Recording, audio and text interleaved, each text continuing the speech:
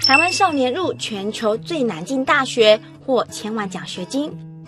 四年奖学金千万，号称全球最难进的梦幻大学——纽约大学阿布达比分校。台中一中这个自由生许瑞博录取啦，超强的啦！来自单亲家庭的他，是家中独子，从小喜欢艺术、看画展。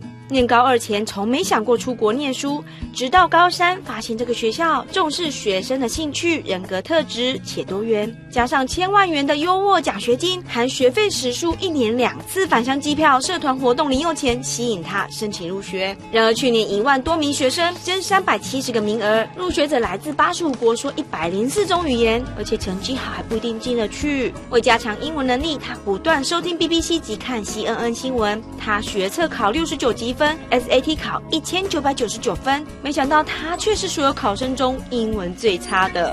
第一个就是我要完成英文的这个自传，然后第二个像是有些可能考试的检定。这所大学我是用学测成绩去申请的，但是其实美国大部分大学是不看学测成绩啊。一般来说，申请到奖学金是非常非常困难，而且很多时候都被中国大陆给抢走。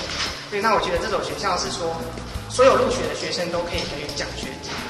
家里也不算说就是很中低收入户，可是其实也是没办法支付说可能说一年可能就是一两百万的这种学费。月前他通过考试面试，加上最后一关四天三夜的候选人周末考验，他带着这本充满纪念戳章的笔记本，向学校说明了家乡的意义，成功虏获了教授们的心。这真的是我第一次一个人出国，但是原本结果其实一切进行的还蛮顺利的。